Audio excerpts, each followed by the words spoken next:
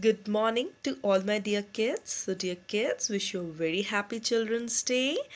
Yes, so Bal Divas is celebrated every year on 14 November. It makes the birth anniversary of our first Prime Minister, Mr. Jawaharlal Nehru. Yes, dear kids, so today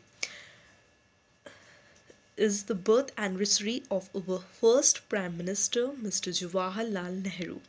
Mr. Nehru was very fond of kids and therefore his birthday is celebrated as Children's Day. He was lovingly called Chacha Nehru by everyone. Chacha Nehru said that children are the future of the nation and believed that they should all get a good education. He worked very harder to provide every child good learning, experience, and knowledge. He wanted the children to learn moral values and become good human being. So this day is celebrated of childhood innocence and hope for future. So once again wish you a very happy Children's Day. God bless you all.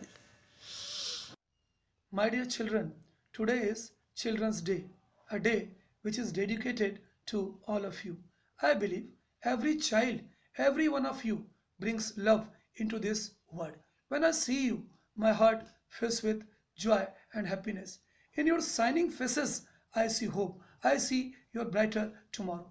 In your radiant eyes, I see the promise what you will achieve. My dream is to see your dreams comes true. So dear students, make your make us proud, make your parents proud, make your teachers proud, make your school and whole nations proud. My heartful thanks, my heartful wishes, my heartful love to all of you. Okay, happy Children's Day. Dear children, happy Children's Day to all.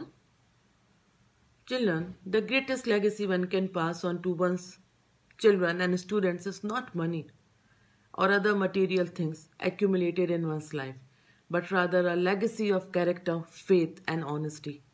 An honest person is always known for his her honesty, just like a sun is known for his eternal light and unlimited energy. Like an honest student, shows good behavior, always follow rules and regulations, maintain discipline, speak the truth, and is punctual. Being an honest student means regular in your classes, completion of assignment on time, regular practice in writing as well as completing of all that is assigned to you.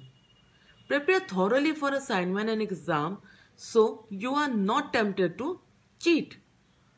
Dear children, nothing will make us happier than watching you grow up to be even a better human being than we are. Meeting all the wonderful students in this journey gave me an opportunity to learn something new from each one of you.